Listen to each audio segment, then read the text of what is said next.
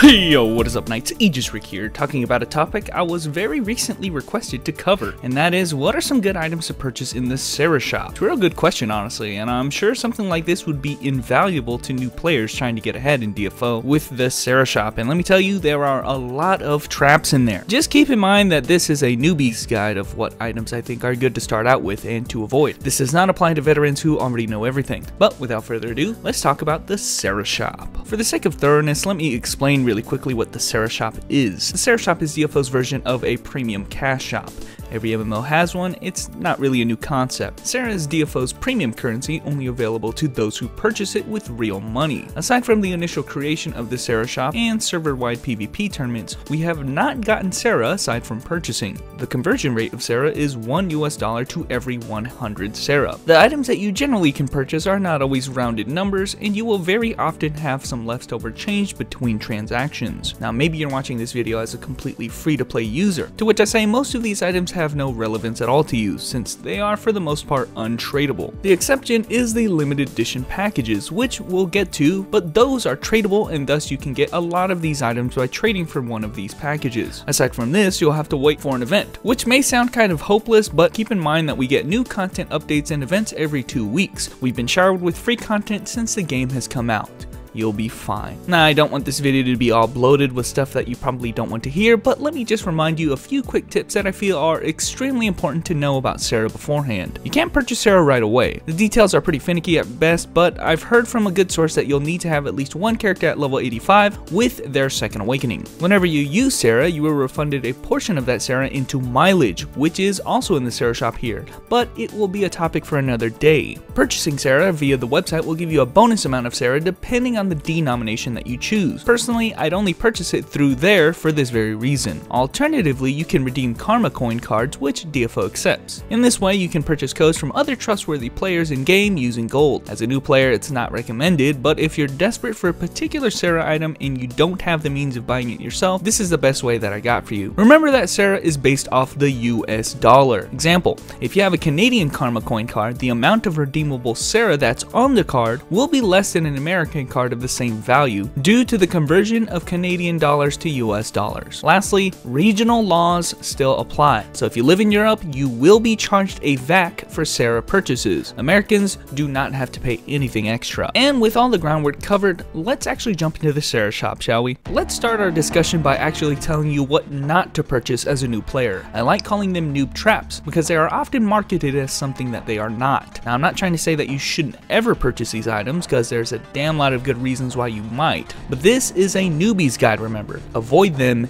if you're new. The easiest way to get baited is to be in the hot new tab, which is kind of like the storefront of DFO's Cera shop. They don't explain what these items are. You just see this flashy third rare avatar here, for instance, and just go, man, I want to buy that. What you don't realize is that you aren't purchasing these avatars. You are purchasing a single component required to have a chance to obtain a single piece of that avatar. And hell, probably not of the color of your choosing either. Bind cubes are the first newbie trap to avoid. I don't want to go into the details of what rare avatars are and how to get them. I've already done so in my Gear Fundamentals guide, go check it out. But as a newbie, if it has anything to do with rare avatars, stay away dude, it's absolutely not worth it for you. The second noob trap is the Lost Treasure. Every month we have a new rotation of Lost Treasure items, which is DFO's version of a gacha system. If you don't know what that is, it's basically a loot box, which you'll get something out of it, generally healing items, and at a low likelihood, you might get this month's rotation of items which are displayed here. Keynote on the maybe part here. Most likely you won't get anything and quite frankly as a newbie, these items will not help you in the ways that they would a veteran. To open the lost treasure you need skeleton keys, 3 for every lost treasure, and as you can see they are quite expensive. You get skeleton keys rarely as drops in dungeons, so it's not like you can't test your luck without having to throw money at the game to do so. This one's a bit harder to explain, but one noob trap is buying items that are normally obtained in packages. For instance,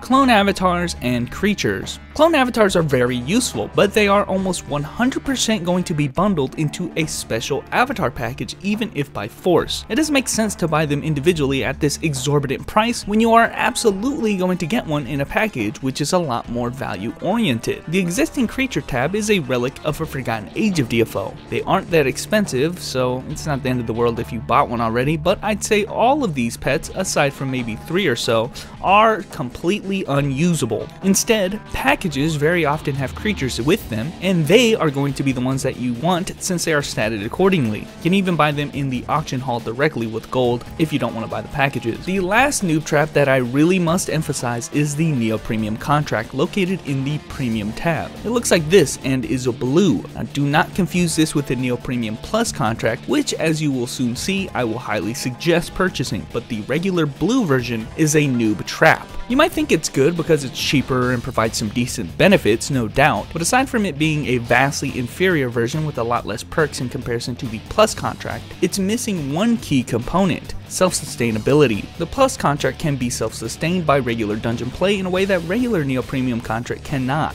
We'll get back to that, but what I'm saying here is, as long as you're active in the game, you can rack up infinite Neo Premium Plus contract, whereas you're going to have to keep purchasing the regular contract over and over. Don't be baited by its lower price tag. You will easily pay much more than a Neo Premium Plus contract owner, no doubt. Of course, I think there are a lot more items that are not that helpful for a newbie, but those are the key ones. Now let's talk about the items that I do think are worth the Cera, and again, keep in mind, I personally purchase a lot more than this, but as a newbie, here are the ones I think are the most value oriented for you. We'll come back to the Neo Premium Plus contract, but first off, let's discuss limited edition packages. I'm to say across the board, all of them are absolutely worth it to purchase if the items inside are relevant to you. The reason I say this is because they are massively discounted in comparison to purchasing the items individually. Let's use the Awakened Ones package for Lancer as an example. I filled my cart as best as I could with equivalent items, give or take. As you can see, I'm making huge savings of about 10 bucks just for buying the limited edition package. Why the hell would you buy the individual pieces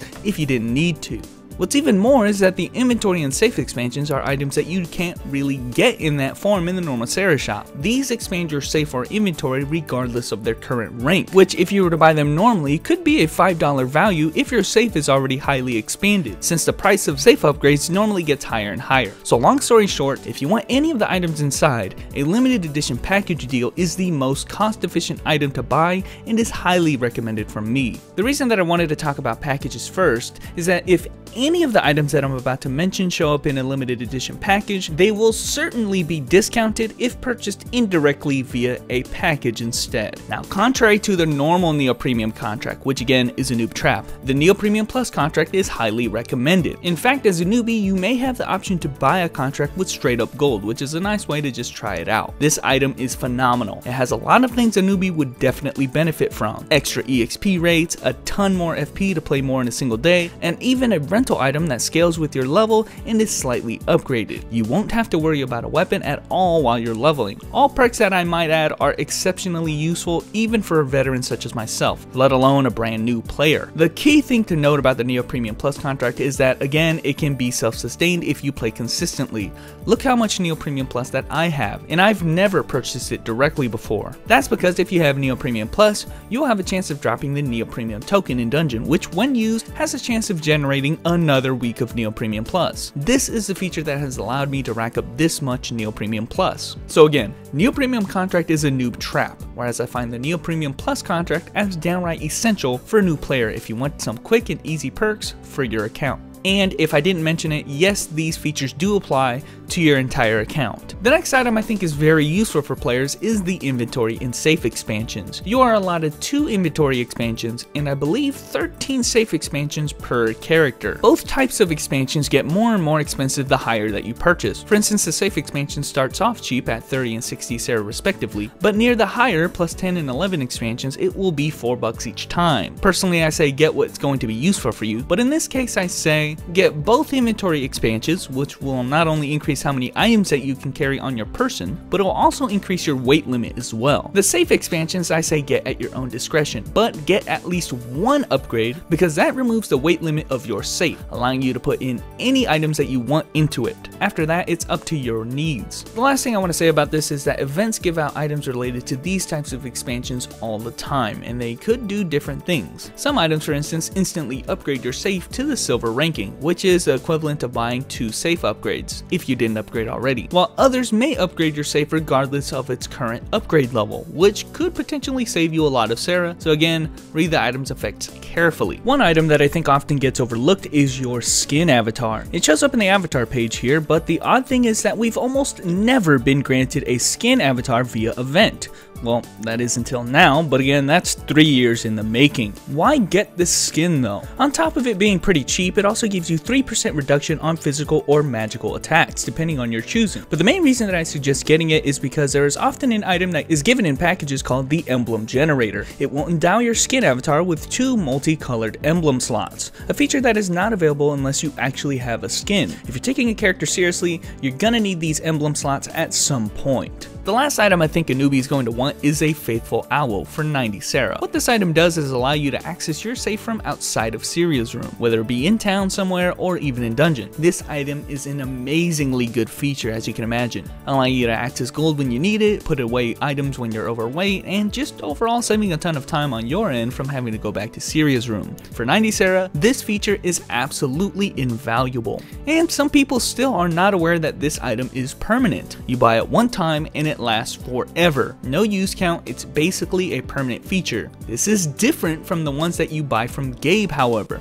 which yes can be bought with gold, but are a one-time use item. Save yourself the hassle and get this permanent one that can be used forever. It is however a character bound item, so it must be repurchased for every character that you intend to use it on. And that guys is all the items I think a noob should be privy to. Everything else, it's up to you I guess. I don't want to be responsible for everything that you do, but I do want to say that there are a lot of items in here that could be helpful. Kaleido boxes can re-roll the variable stats on your gear, potentially making your gear stronger. Contracts makes things easier for you both in letting you wear stronger gear and getting skills earlier than you should. And don't get me wrong, these items are helpful, but they can very often be obtained via regular play and events. In other words, they wouldn't be a primary focus as a newbie, but you can make decisions on your own. And with that guys, I hope you have an idea of this Cera shop. And remember, purchase responsibly, and I will catch you knights later.